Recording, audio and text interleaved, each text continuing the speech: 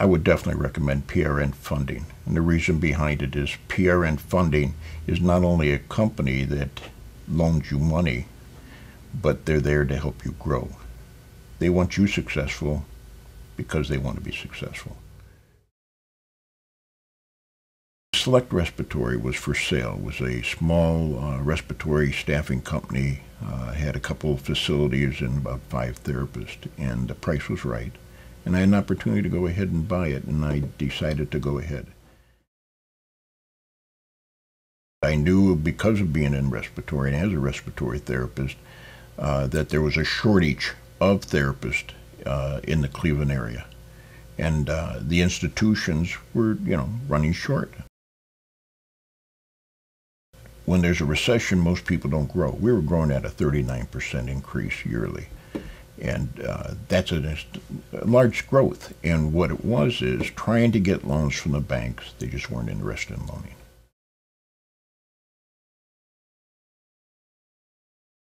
Like anything else, uh, to get the best, you got to pay higher. And we did. We were the highest paying company. Uh, we did it for a reason, to draw the best talent.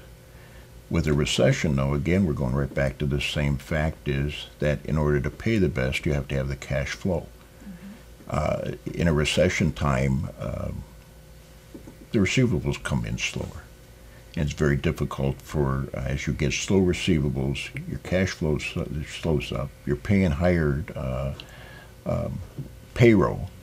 Uh, you know, you're still trying to keep your 34% margins, that uh, you land up with a problem. I did what everybody else does and I went on the web. And I was looking through different places and I came across PRN funding.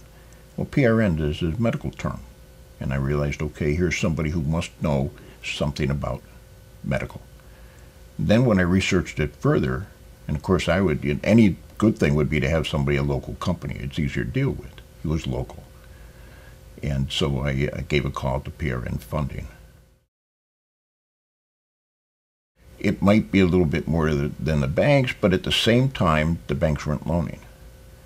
So uh, it was a, a, way to achieve the cash flow and uh, still pay a small interest compared to losing the client, losing the therapist. And I thought it was uh, a great opportunity. I interviewed several, and the one that stood out was Phil. Phil walked in the door, he came and visited me. We sat down, we talked, we discussed the recession, we discussed business, we discussed the fact that what my industry was. Phil was very familiar with it.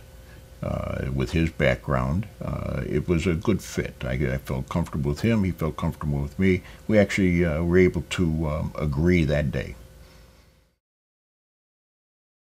Well, as we grew, I uh, kept the company for um, roughly three years. But uh, one reason I bought it is that I wasn't in the best of health, uh, but it was an opportunity. What I didn't realize is with the speed that we grew, that it would become really more detrimental to my health, um, and it was time to sell. Not because of the industry, not because of the uh, the growth. It was just that it was weighing on me, so I put the company up for sale. Phil was again a good friend to help in that. I met Phil uh, for lunch. We sat down. I informed him that I thought the company was for sale. We looked at it, and uh, I told him what I thought, and I said if you can put the feelers out, I'd appreciate it. What he did is he gave me the names of people who'd be interested.